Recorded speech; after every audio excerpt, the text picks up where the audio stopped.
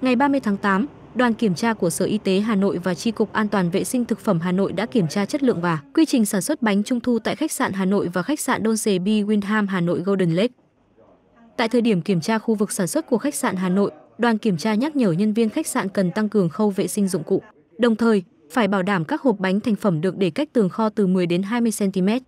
Mặt khác, đoàn kiểm tra cũng lưu ý, kho đóng gói bánh trung thu còn thiếu giá kệ cần phải bổ sung. Qua kiểm tra khu vực bếp, đoàn kiểm tra yêu cầu khách sạn Hà Nội khẩn trương nâng cấp, khắc phục những tồn tại ở khu bếp Á. Vì khu vực bếp đã xuống cấp, tường nhà, trần nhà và nền sàn bong chóc. Đoàn kiểm tra đã yêu cầu khách sạn Hà Nội cần khẩn trương nâng cấp, khắc phục những tồn tại ở khu bếp Á càng sớm càng tốt. Tại khách sạn Don Sề Bi Windham Hà Nội Golden Lake, qua kiểm tra khu vực bếp và khu vực sản xuất bánh trung thu, đoàn kiểm tra đánh giá quy trình sản xuất bánh trung thu và khu vực bếp bảo đảm sạch sẽ, được phân khu riêng biệt, đáp ứng đầy đủ các tiêu chuẩn vệ sinh, an toàn thực phẩm. Tại thời điểm kiểm tra cho thấy, trên nhãn sản phẩm bánh trung thu mới chỉ có hạn sử dụng mà không có ngày sản xuất.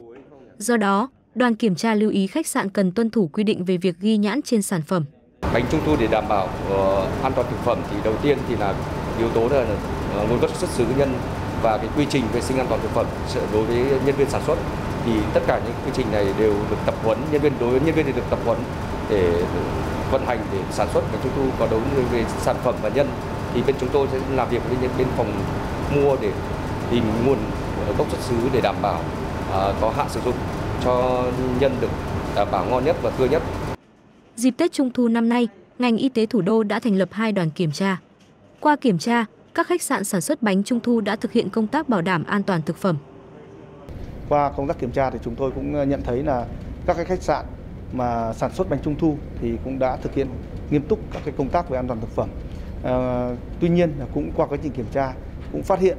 à, có những cái khách sạn thì cũng còn cái chế độ vệ sinh an toàn thực phẩm à, trong cái công tác à, sản xuất cũng có những cái khách sạn là chưa thực sự đảm bảo thì chúng tôi cũng yêu cầu chấn chỉnh lại các cái khâu mà không đảm bảo an toàn thực phẩm. À, chúng tôi cũng đã đi sâu vào kiểm tra cái nguồn gốc của cái nguyên liệu đưa vào sản xuất bánh thì cơ bản là nguồn gốc đưa vào sản xuất bánh trung thu tại các khách sạn được nhập khẩu thời gian sử dụng à, cũng thể hiện trên nhãn phụ đảm bảo các yêu cầu về an toàn thực phẩm. Trong thời gian này 30 quận, huyện cũng ra quân thành lập các đoàn kiểm tra liên ngành kiểm tra các cơ sở sản xuất bánh trung thu tại địa phương của mình.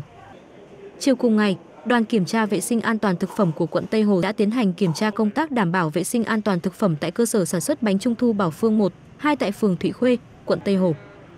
Kiểm tra trực tiếp tại cơ sở, đoàn kiểm tra ghi nhận chủ cơ sở đã cơ bản chấp hành tốt các quy định về đảm bảo vệ sinh an toàn thực phẩm như hóa đơn, giấy chứng nhận nguồn gốc nguyên liệu đầu vào. Chủ cơ sở đã bố trí các khu vực chế biến nguyên liệu sống và chín ra từng khu vực khác nhau. Công nhân có chứng nhận đảm bảo sức khỏe theo quy định nay thì ờ, cơ bản việc ờ, sản xuất bánh trung thu thì vẫn cơ bản là tập trung vào các cửa hàng sản xuất và kinh doanh bánh trung thu truyền thống. Thế nên là đối với kế hoạch của phường ấy thì chúng tôi ngoài việc kiểm tra các cơ sở sản xuất kinh doanh bánh trung thu truyền thống trên địa bàn thì kế hoạch của chúng tôi cũng tập trung kiểm tra toàn bộ các cơ sở, cửa hàng, siêu thị, các cửa hàng tạp hóa mà có kinh doanh và buôn bán các mặt hàng để phục vụ trung thu. Được biết, Hiện tại trên địa bàn phường Thụy Khuê, quận Tây Hồ có 6 cơ sở sản xuất, kinh doanh bánh trung thu. Trong sáng cùng ngày, Ủy ban nhân dân phường Thụy Khuê đã tiến hành kiểm tra công tác chấp hành các quy định về đảm bảo vệ sinh an toàn thực phẩm tại 4 cơ sở. Qua kiểm tra, tất cả các cơ sở đã thực hiện nghiêm quy định về quản lý nhà nước trong công tác đảm bảo vệ sinh an toàn thực phẩm.